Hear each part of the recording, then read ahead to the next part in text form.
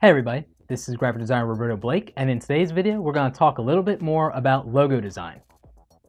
So in this video, I'm going to talk to you about how to actually design a logo.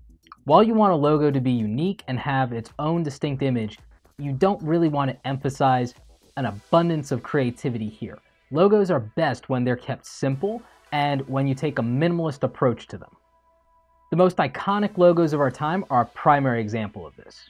When designing a logo, it's usually best to start by actually sketching it out, either in a sketchbook or as I prefer to use a grid composition book.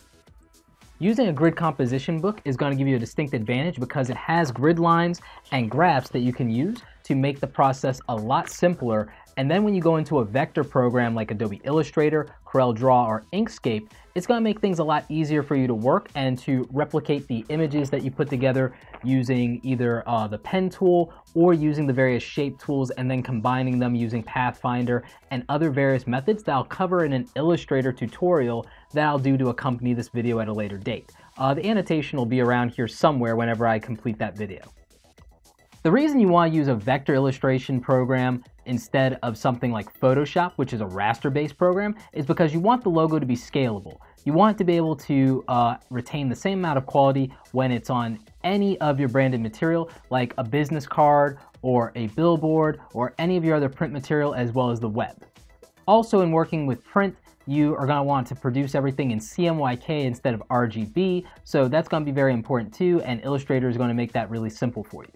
There are three main types of logos. Logo type, which us designers refer to sometimes as word marks, are just what they sound like. They're logos that are designed based on the word and on the fonts, and you can manipulate those fonts to make them unique and to stand out, so it's a stylized type treatment, if you will. Then you have icons or symbols. These are graphical images like the Twitter bird or the Pepsi symbol that ultimately represent a brand, kind of like the Nike swoosh or like the Q in QuickTime.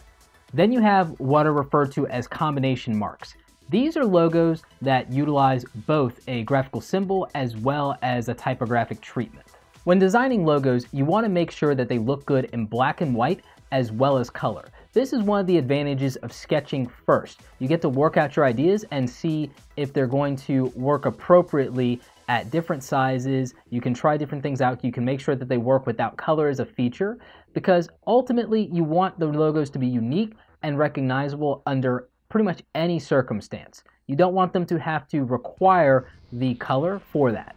Remember, these logos ideally are going to be used in a lot of different situations. They could be used in motion graphics. They could be used on print for business cards. They could be scaled up large and be on posters. So you want to make sure you're keeping that in mind from the beginning to the end when you're working through them in the design process. Well, I hope you guys enjoyed this video. A later video that I'm going to do at some point is going to actually take you from sketching out a logo in a sketchbook to designing it digital in Illustrator. I'll also be doing a lot of different Illustrator tutorials where I build up logos that have already been sketched out. So um, just kind of look forward to that. Make sure you stay tuned to the channel and subscribe in order to get those videos from me.